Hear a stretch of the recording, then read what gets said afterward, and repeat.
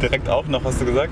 Naja, ich meine, äh, ich dachte jetzt so Tel Aviv oder so, aber dann auch noch die Jerusalem, das finde ich dann schon ganz schön extrem so. Also es, ich war noch nie in Israel. Soll ich rechts jetzt in die Großbären? Nee, links. Links rein. Links, ja. Das ist natürlich traurig. Das ist ja ein trauriger Tag. Auf den letzten Metern bin ich.